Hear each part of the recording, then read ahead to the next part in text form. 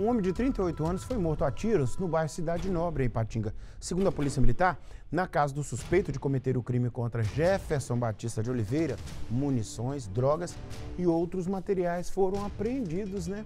É, Gisele, a gente tem conversado aqui sobre essa onda de crimes aí no Vale do Aço, hein, Gisele? Pois é, Nico, os índices de homicídio aqui em Patinga só crescem cada dia, né? Se não me engano, estamos aí em 13º homicídio, 14º homicídio desde o início deste ano. A vítima deste, deste assassinato de agora é o Jefferson Batista de Oliveira, de 38 anos. Ele foi assassinado a tiros ontem à noite no bairro Cidade Nobre.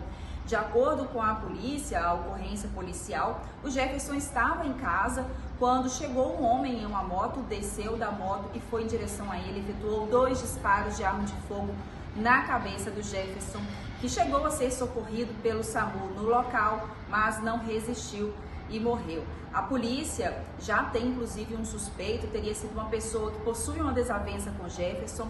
Durante o rastreamento, a polícia não conseguiu encontrá-lo, Nico. Porém, a motocicleta do, usada no crime, ela foi localizada pelos policiais na casa do suspeito e ali encontrada também a munições, armas e entorpecentes. A polícia segue no rastreamento de localizar o autor deste crime. Nico, Obrigado, Gisele, por sua informação, né? É, e tem que acompanhar de perto aí, né, Gisele? Tem que ter uma ação das forças de segurança aí contra essa onda crescente de violência aí no Vale do Aço. Assustadora, né? Assustadora essa onda.